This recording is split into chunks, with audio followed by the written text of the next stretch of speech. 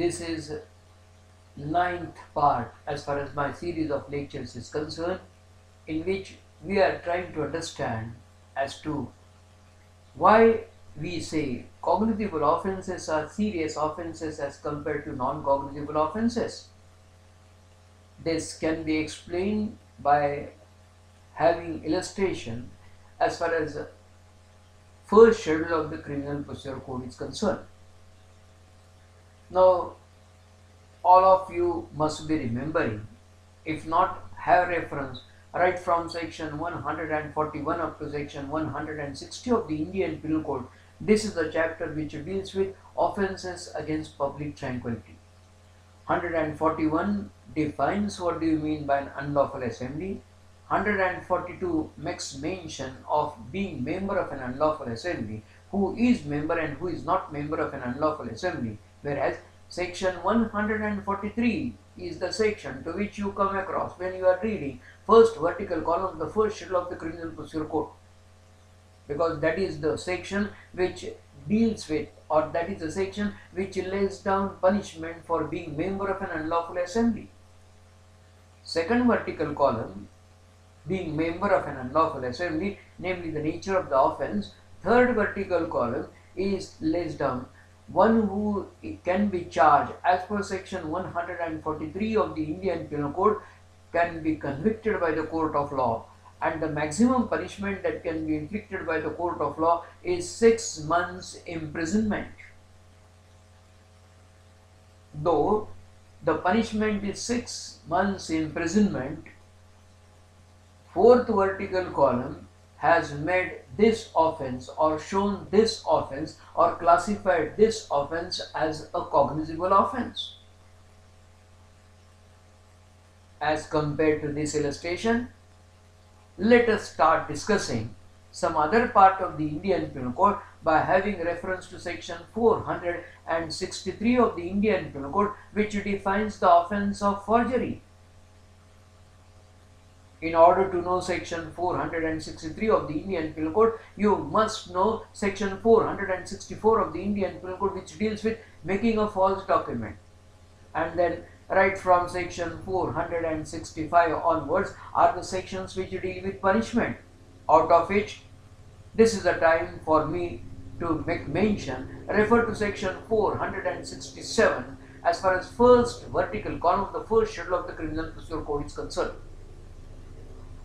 section punishing the section that lays down punishment 467 for what second vertical column forgery of a valuable security.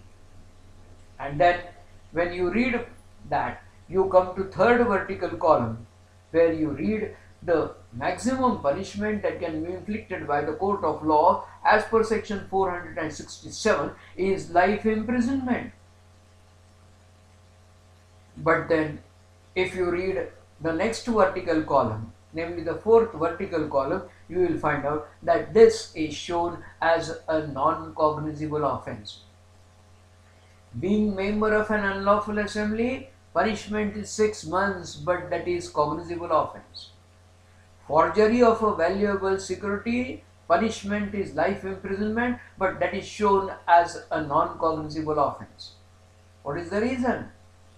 The reason you can understand as to what is the potential danger as far as the nature of the offense is concerned.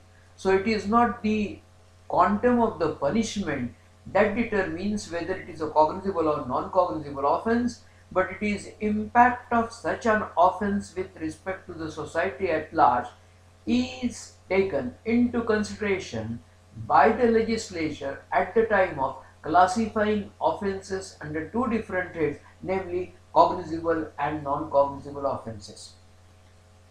The other illustration would be read section 319 of the Indian Penal Code which defines hurt. Section 320 defines what do you mean by grievous hurt. Section 321 defines the offense of voluntarily causing hurt and section 322 defines the offense of voluntarily causing grievous hurt whereas right from section 323 up to 338 of the Indian Penal Code are the sections which deal with punishment. Now, when you refer to these sections, as far as the punishment is concerned, to which you will come across when you refer to first vertical column, the first schedule of the Criminal Procedure Code. When the offence is that of voluntarily causing hurt, that is non-cognizable offence, and the offence of voluntarily causing grievous hurt is a cognizable offence. You can. This is by way of illustration, and hence as you start going through the different provisions or different sections as far as Indian Penal Code is concerned by having reference to what only the first schedule of the Criminal Procedure Code you will immediately understand the importance of what you will immediately understand the importance of distinction or classification as far as cognizable and non-cognizable offences are concerned. With this now this is a time for me to draw your attention to one more aspect. Though I told you that anybody can set criminal law into motion is the basic principle of the criminal law. How one can set criminal law into motion entirely depends upon the nature of the offense. If it is cognizable, one can follow the procedure which is laid down as far as subclause 1 of section 154 of the criminal procedure code is concerned which deals with FIR. Whereas if it is non-cognizable offense, one has to follow the procedure which is laid down as far as subclause 1 of section 154 is concerned which deals with complaint to the magistrate.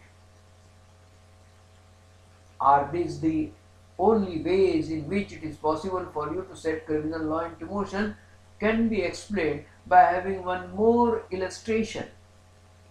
Namely, imagine a situation that your neighbor has committed the offense of bigamy as defined by section 494 of the Indian Penal Code. Bigamy is not an offense, it's an English term but marrying during the lifetime of either spouse is made punishable as far as section 494 of the Indian Penal Code is concerned, for which you will have to refer to right from section 493 up to 498 are the sections which deal with what? These are offences relating to marriage.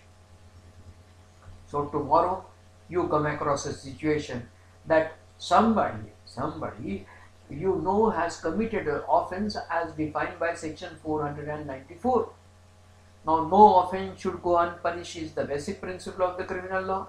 Hence, you want to set law into motion. You do not know the nature of the offense, hence you go to the police station and want to set law into motion. The police officer is bound to tell you, as the nature of the offense is non-cognizable, I have neither right nor arrest not to start with the investigation and then you are referred by him to go to the magistrate, you go to the magistrate. Now once you go to the magistrate and you want to lodge a complaint, for the offense of bigamy which is committed by your neighbor, for which you may be having proof also. You may be having video cassette, recorded cassette too. But then when you go to the magistrate, the magistrate is bound to tell you as I am bound by section 198 of the criminal procedure code.